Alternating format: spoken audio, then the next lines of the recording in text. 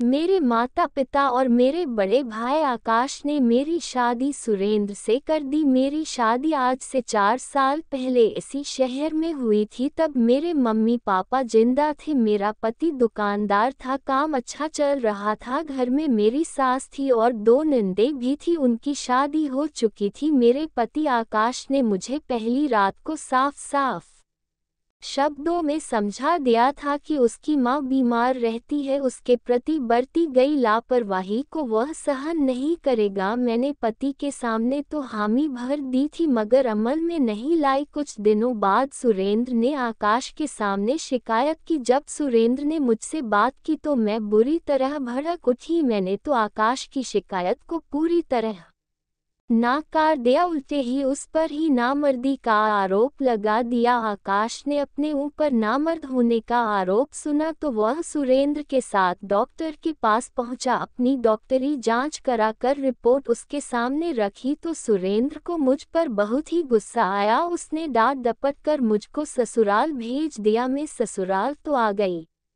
मगर मैंने पति और सास की अनदेखी जारी रखी, मैंने अपनी जिम्मेदारियों को महसूस नहीं किया।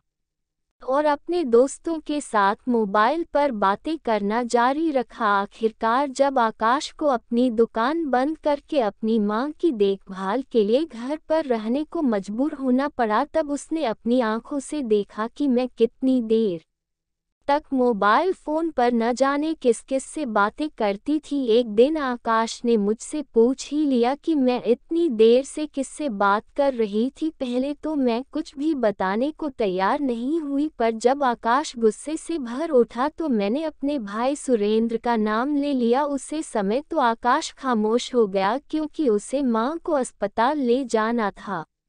जब वह टैक्सी से अस्पताल की ओर जा रहा था, तब उसने सुरेंद्र से पूछा तो उसने इनकार कर दिया कि उसके पास मेरा कोई फ़ोन नहीं आया था?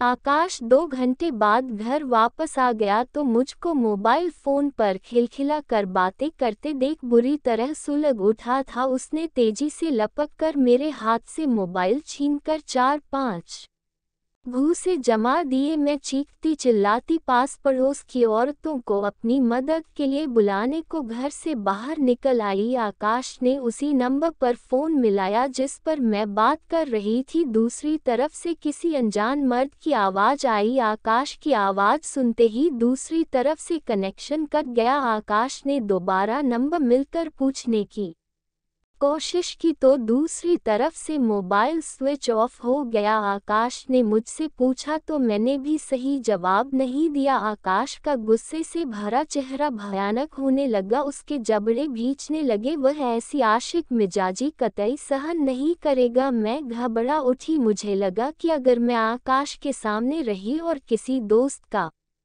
फ़ोन आ गया तो यकीनन मेरी खैरियत नहीं, मैंने उसी समय ज़रूरी सामान से अपना बैग भरा और रात को अपने मायके आ गई सुरेंद्र गहरी नींद में सोया हुआ था। मेरी भाभी गीता ने उसे जगाने की कोशिश की। वह इतनी ऊँची आवाज़ में बोली थी कि साथ में सोया उसका चार साल का बेटा अभय भी जाग गया था। वह डरी निगाहों से माँ को देखने लगा था, क्या हो गया? रात को तो चैन से सोने दिया करो। क्यों जगाया मुझे सुरेंद्र? उखड़ी आवाजों में भाभी पर भड़क उठा, बरस पड़ा। बाहर गेट पर कोई खड़ा है ज़ोर ज़ोर से डोर बेल बजा रहा है। पता नहीं इतनी रात को कौन आ गया, मुझे तो डर लग रहा है। भाभी ने घबराए, आवाज़ में बताया, अरे, इसमें डरने की क्या बात है? गेट खोलकर देख लो।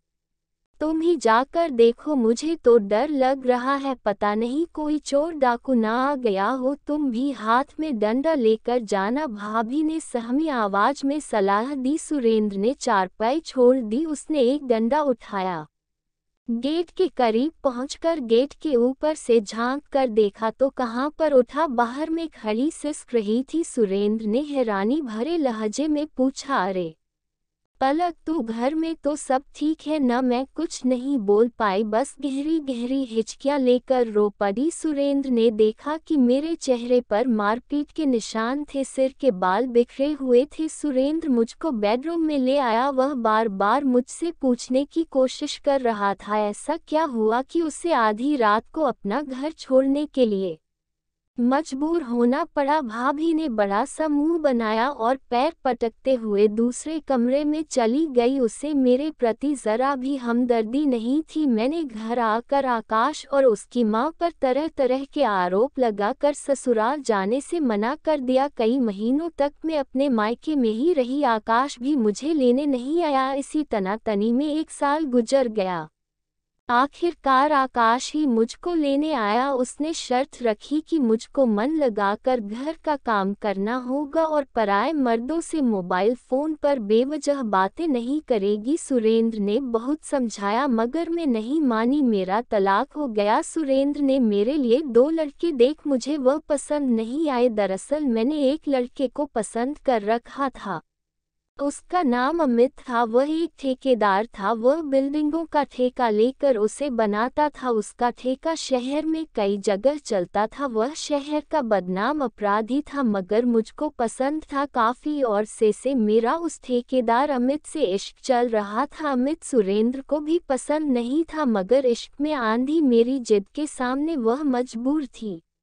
मेरी शादी अमित से करा दी गई जब मैं उसके घर आई तो मैं बहुत खुश थी। पहली रात को ही अमित ने मुझको अपनी बाहों में कस कर मुझे जी भर कर प्यार किया। पूरी रात हम दोनों एक दूसरे पर प्यार लुटाते रहे। अमित की कुछ बुरी आदतें थी जो मुझे बिल्कुल पसंद नहीं थी। मैं उसे समझती थी लेकिन वह नहीं मानता था। अमित का ठेकेदारी में केवल दस पैसे का हिस्सेदारी था, बाकी नब्बे पैसे दूसरे हिस्सेदार थे। उसकी कमाई लाखों में नहीं, हज़ारों रुपए में थी, लेकिन वह जुआ खेलने और शराब में ही सारे पैसे खर्च कर देता था। वह मुझको खर्चा नहीं दे पता था। अब तो मुझको पेट भरने के भी लाले पड़ गए। मैंने अमित से अपने खर्चे की मांग रखी तो उसने जिस्म बेचकर पैसे कमाने का रास्ता दिखाया। मैंने मना किया तो अमित ने घर में ही शराब बेचने का रास्ता सुझा दिया। अब मैं करती भी क्या? अपना मायका भी मैंने गवा लिया था। जाती भी कहाँ? मैंने शराब बेचने का धंधा शुरू कर दिया। मेरा जवान गदराया। शरीर देखकर मन चले। शराब खरीदने मेरे पास आने लगे, मेरा कारोबार अच्छा चल निकला। अमित को लगा कि मैं खूब माल कमा रही हूँ तो उसने मुझसे पैसे मांगने शुरू कर दिए। मैंने पैसे देने से इनकार कर दिया। उसे रात हम दोनों में झगड़ा हुआ। रात को मैंने जमा किए तमाम रुपए एक पुराने बैग में भर लिए और वहाँ से भाग निकली, मैंने सोच लिया था, अब मैं मायके भी नहीं जाऊँगी और किसी दूसरे शहर में जाकर एक नई ज़िंदगी शुरू करूँगी। दोस्तों, कहानी कैसी लगी? कमेंट में बताएँ, हमारे चैनल को लाइक करें और शेयर करें।